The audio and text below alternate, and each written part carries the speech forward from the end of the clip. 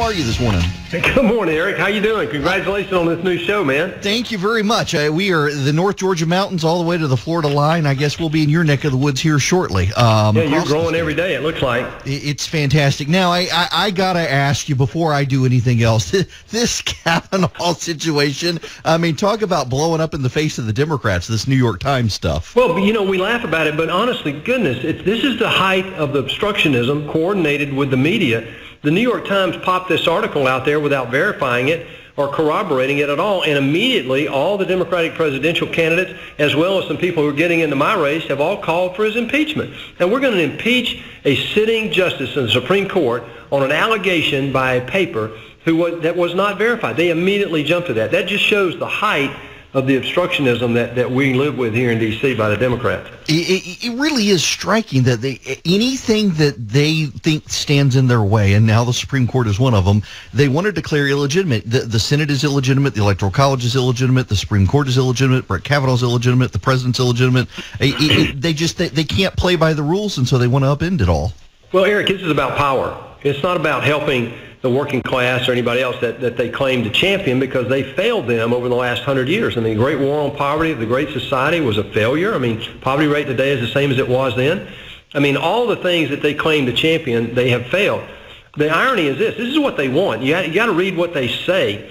Schumer is saying that if they get if they get the majority in the Senate, that they will get rid of the filibuster rule, add, try to add D.C. and Puerto Rico as two new states, add four seats to the Supreme Court, and do away with the uh, Electoral College. Well, that's a description of a one-party state. That didn't work out very well for the people in Russia in 1917 or Germany in 1933 or Cuba in 1959 or Venezuela today. It's been an unmitigated disaster every time. And yet these guys running for president of the Democratic Party are absolutely serious about changing the free market, free enterprise system in America. Well, and that leads me to here in Georgia. I was, I, I guess I shouldn't be shocked, but I kind of am that there is uniformity of opinion among those who would like to replace you in the Senate uh, that we also need to investigate and, and pay reparations for the Civil War. Uh, I, I was actually really stunned that even the ones who want to portray themselves as reasonable suddenly are taking a position that's not even favored by a majority of the black community in the country. Well, no, look, majority of the black community, Asian community, Hispanic community, uh, as well as the Caucasian community, are reasonable people. they know what's right and wrong, and they just want the same thing we all want, and that is a future for our families. They want freedom. That's why we're here. Our founding mothers and founding fathers were serious about this, and it served us well for 230 years.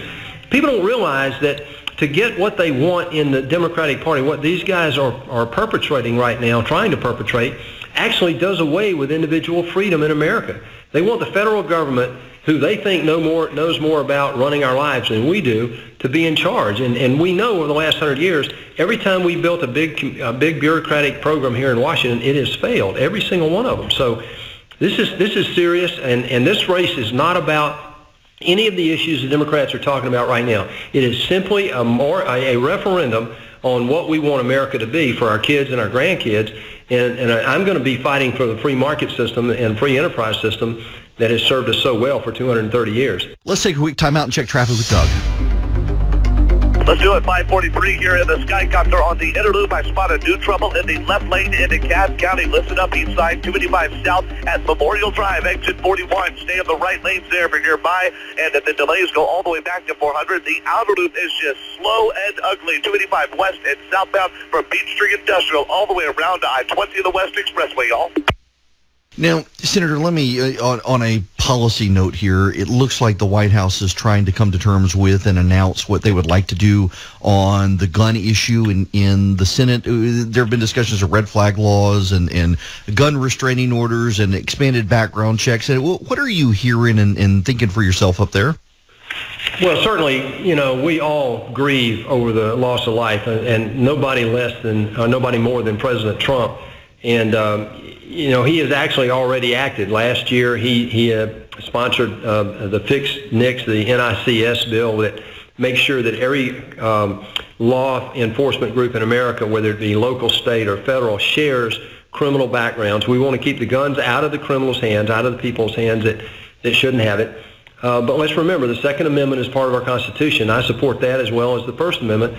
Uh, but we, we also know that we need to be responsible and keep the guns out of the hands of the people that should not have them.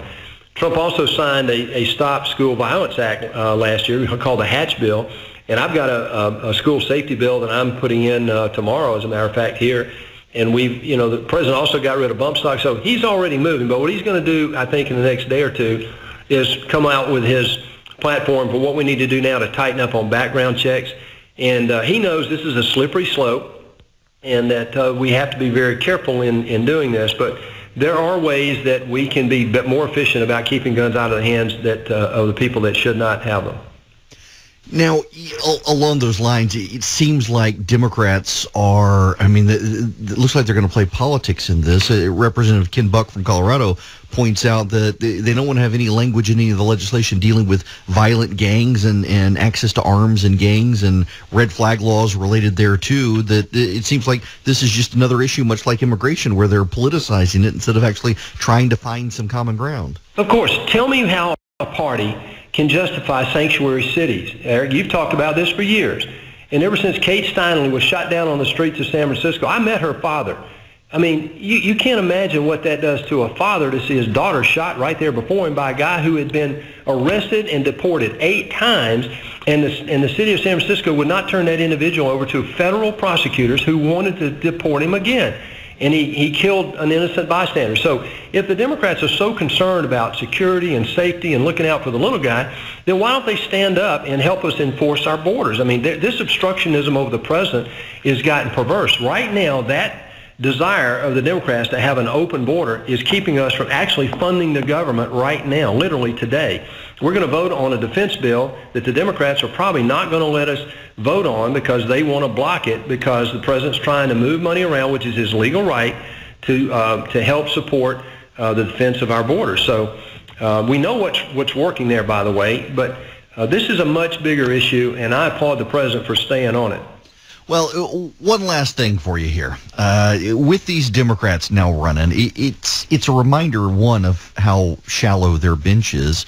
Uh, but I just uh, you and I have talked about this before. We talked about it in, in August, and we've talked about it on the Atlanta show. That they really it's, it's striking to me how far left Georgia Democrats really seem to want to run to run against you. You've got Teresa Tomlinson and Ted Terry out there trying to out progressive each other with some sort of scorecard, and now Ossoff coming out with reparations and gun bans and everything else. Uh, I, I, I got to imagine you're going around the, the state of Georgia and, not set you up for a super softball here, but I don't hear anybody in the state of Georgia wanting any of this stuff that the Democrats are offering. Listen, one thing I'm sure in Georgia, you know, I grew up there, I've lived there, and, and worked there all my life mostly.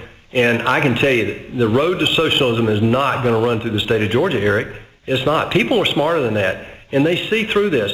The people who are now talking about running for the Senate in Georgia are going to have to, to be just a rubber stamp for uh, the party line in the Democratic Party. This, that's the way they operate. And if they were to get elected, they would be nothing but a rubber stamp for Chuck Schumer in the United States Senate. I see that every day here where they align their votes around these radical I'm not even using the word progressive because progressive sounds like a positive thing, right?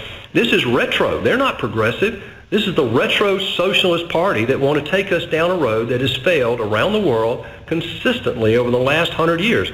And it just is remarkable to me that they really believe that Americans are that stupid that we would do something to, to kill the, the, the uh, you know, this system that we have that's been so, so good for us. Well, I, I'm, I'm assuming that I've got a lot of optimism and faith in the Georgia people that they won't do that, and and we'll stick with you. I sure appreciate you stopping by and spending some time with me this morning.